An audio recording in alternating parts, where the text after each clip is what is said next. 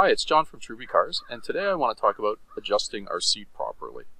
Uh, one of the first things you want to do is make sure that you're close enough that your feet can operate the pedals.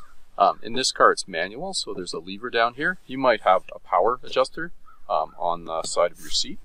Uh, my right foot can reach the firewall behind the brake pedal. My left foot is sitting on what we call a dead pedal, or if you don't have that, it would be the firewall.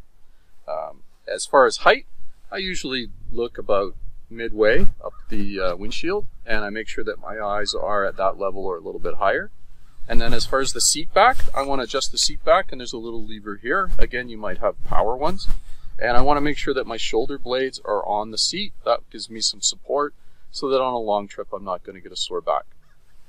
Now, as far as the steering wheel, you should be able to grab the steering wheel and have a nice little bend to your uh, elbows. You shouldn't be reaching really far for it. Otherwise, um, you're going to start, start to lose a little bit of feeling in your fingers.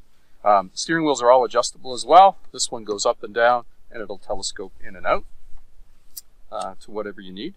And uh, that's basically it. Um, I'm John for Trubicars. Drive safe.